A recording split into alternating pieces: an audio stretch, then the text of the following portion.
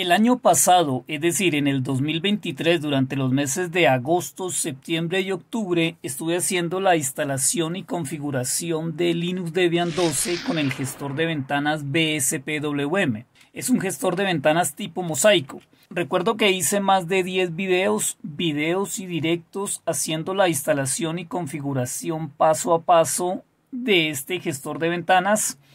Y algo adicional es que también estaba aprendiendo algo de Git yo creé un repositorio de GitLab y ahí subí los dot files de la configuración.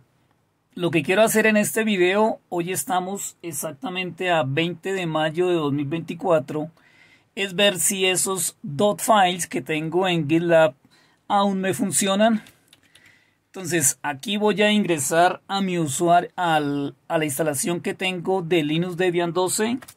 Doy enter y aquí está arrancando una instalación mínima que hice de Linux Debian 12. Está en el SDA5. Aquí tengo el login. Dice Debian GNU Linux 12 Debian TTY1. Aquí ingreso entonces el usuario Linux en casa Linux del 1 al 4.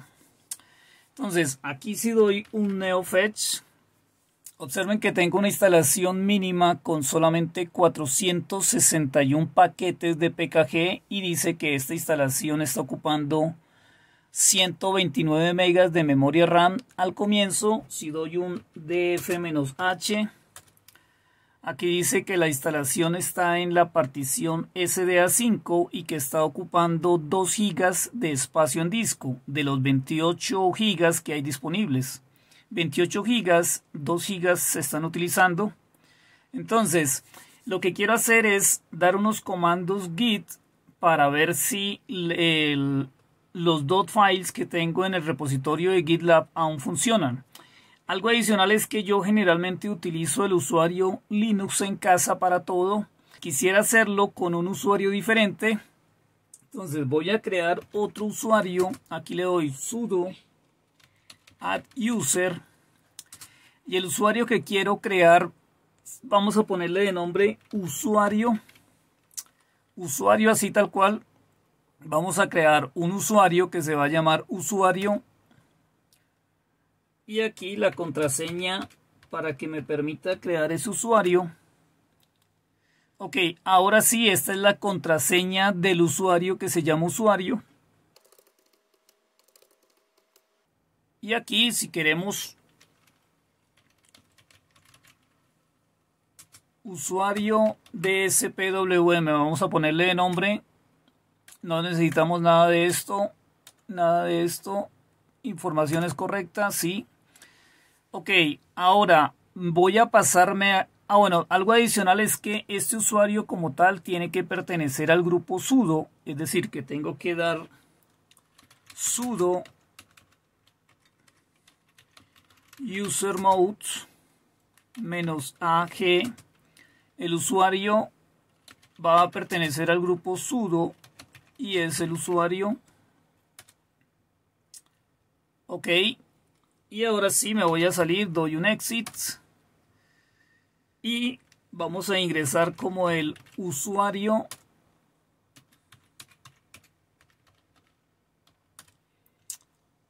Perfecto, entonces ya estamos como el usuario que acabamos de, que acabamos de crear. Aquí voy a dar de nuevo un neofetch.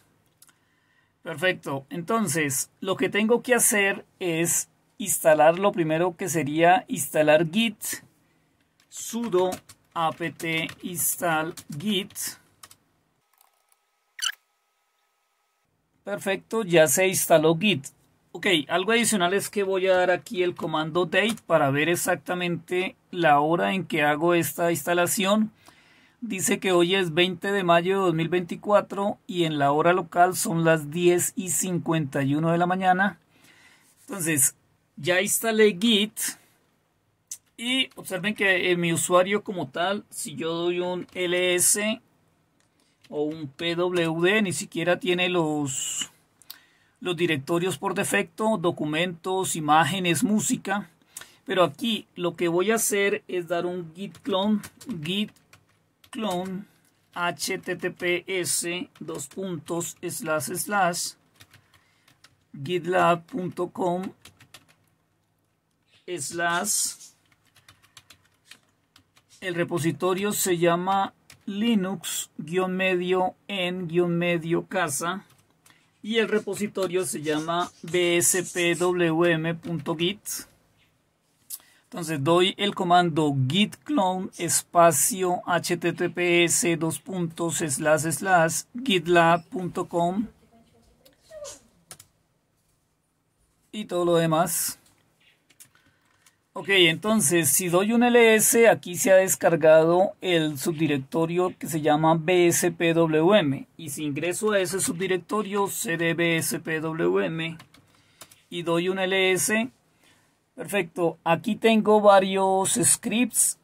Uno de esos es hacer el script que dice instalar bspwm raya colorido. Es, digamos que el más sencillo. Entonces, voy a dar aquí, de nuevo voy a dar un date.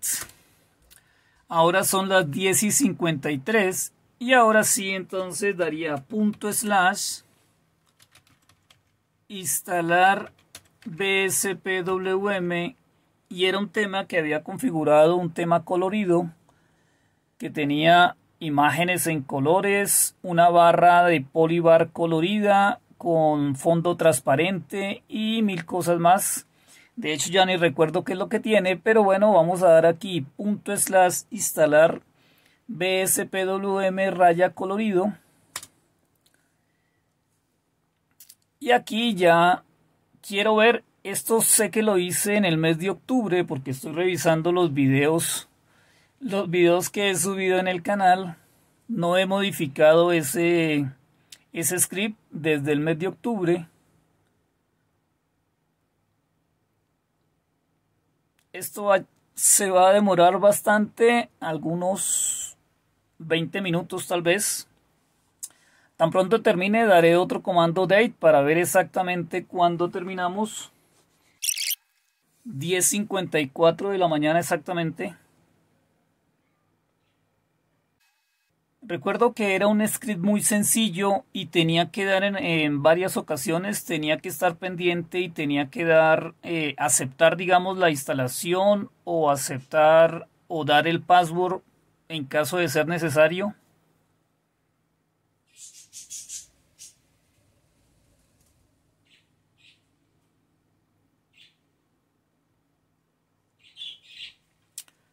Pero la idea es que se va a configurar el gestor de ventanas BSPWM con una barra superior que la hice con Polybar. También estaba configurando el fondo de pantalla, creo que lo hacía con Nitrogen o con FEC, creo que lo hacía con FEC. También estaba configurando JG Menu, Rofi, las transparencias con Picon o PyCon Creo que eso era todo. Vamos a ver si funciona. Tan pronto arranque, ya me acordaré que era todo lo que hacía o cómo había configurado el, la instalación de Linux Debian 12 con BSPWM.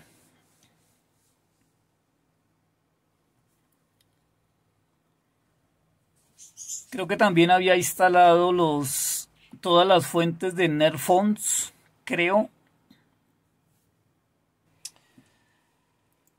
Ahora que recuerdo como estaba aprendiendo sobre Git, yo había creado varias ramas o varios branches y cada uno de esos branches eran como un tema diferente de BSPWM. Entonces el primero era BSPWM color, otro se llamaba BSPWM FEC, había otra configuración que había hecho con TIN2 y así en este momento la que estoy instalando o la que se va a configurar es la primera que se llama BSPWM raya color.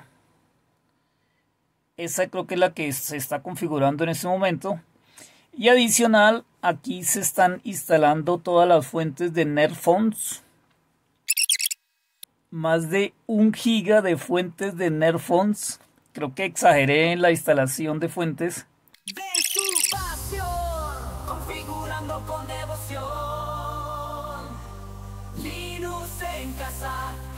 Usan al mando, salchipapas secretas que encantó.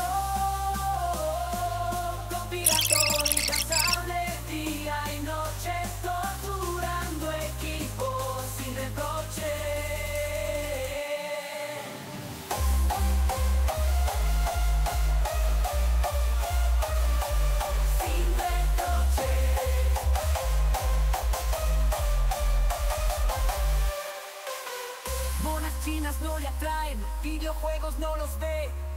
HP, sus fieles aliados, en la casa sus redes ha tejido. Ok, hemos terminado, son exactamente las 11 y 23 de la mañana, voy a dar nuevamente el comando date, dice 11.23, sigue siendo el 20 de mayo, bueno, revisando aquí toda la instalación, también se instala eh, se configura todo el audio con PyWire, eh, se configura el IDM, varias aplicaciones, todo en español debe quedar. Entonces vamos a hacer un reset completo o un system CTL reboot. Vamos a reiniciar el sistema y vamos a probarlo. Detenemos la grabación y empezamos a grabar de nuevo. Entonces damos System CTL Reboot.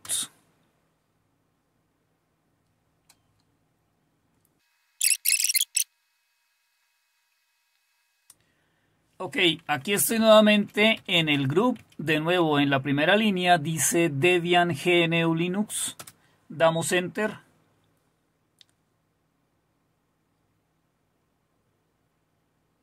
También se instaló, se instaló y configuró la IDM, el Display Manager, así que ahora deberíamos arrancar en ese Display Manager.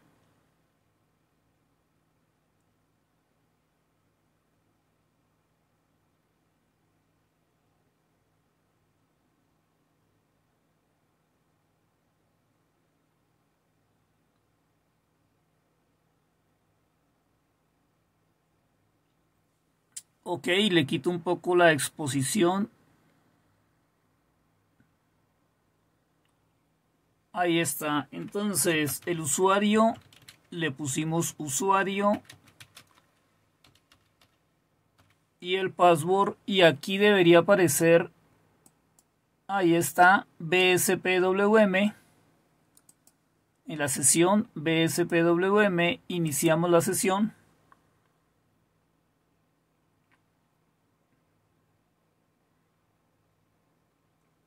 Ok, perfecto, funcionando. Entonces, ahora sí que recuerdo, en la parte de arriba, esta barra la hacía con Polybar. Este menú que está aquí se hace con JG Menu. Tenemos transparencias con... Ya no recuerdo con qué son las transparencias. Todo lo que había instalado. Flameshot, LibreOffice, GIMP, en multimedia tenía Clementine, MPV, OBS Studio, Firefox, Transmission. En oficina tenemos toda la suite de LibreOffice. Y eso, una instalación mínima, Synaptic, en fin.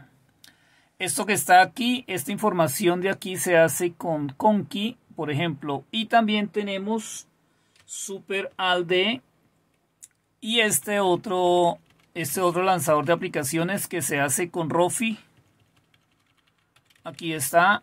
Vamos a abrir, por ejemplo, Firefox. Abriendo Firefox.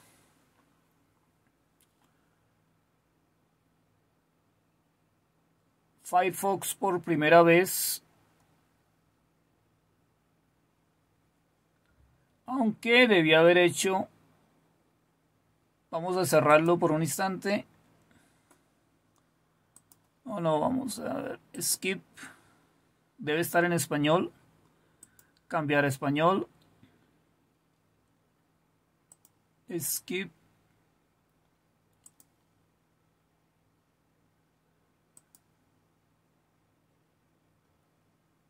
Start browsing. Vamos a cerrar un instante Firefox. Salir. Y vamos a abrir el emulador de terminal Super y Enter y damos el NeoFetch. Perfecto, aquí tenemos entonces el resumen de la instalación. Tenemos Linux Debian 12 con el gestor de ventanas BSPWM. Tenemos en este momento 415 megas de memoria RAM. Free-H. 647 megas. Un DF-H. Ahora dice que la instalación está ocupando 8 gigas de espacio en disco. De 2 pasamos a 8 gigas.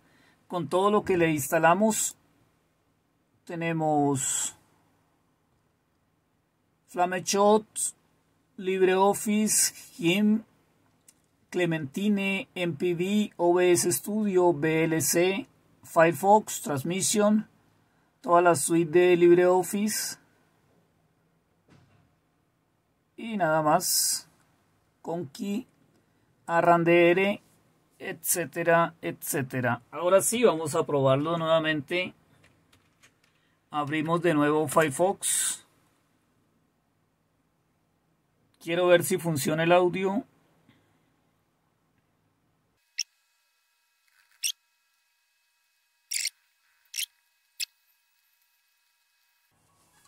Funcionando Aquí debemos tener también BTOP instalado. Ah, ese sí no lo instalé. HTOP, tal vez. HTOP. Creo que en esa época no utilizaba BTOP todavía. Pero ya está instalado y configurado BSPWM. Esto lo hacemos con Conky. Aquí están todos los atajos de teclado. Información del sistema funcionando todo.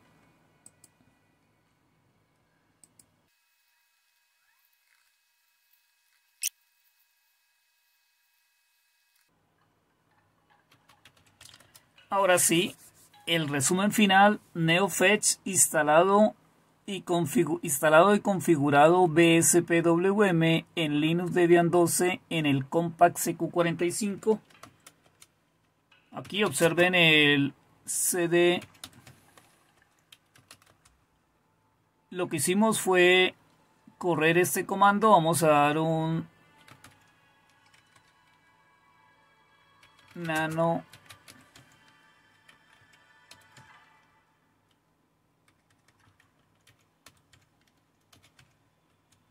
Este fue el script que corrimos.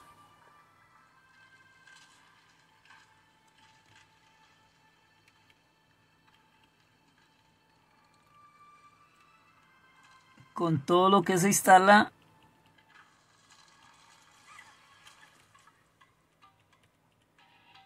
se configura Firewire, Synaptic, LibreOffice,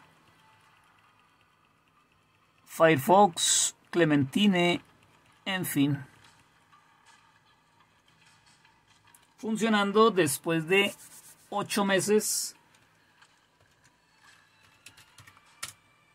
Perfecto, y con esto terminamos BSPWM perfectamente configurado.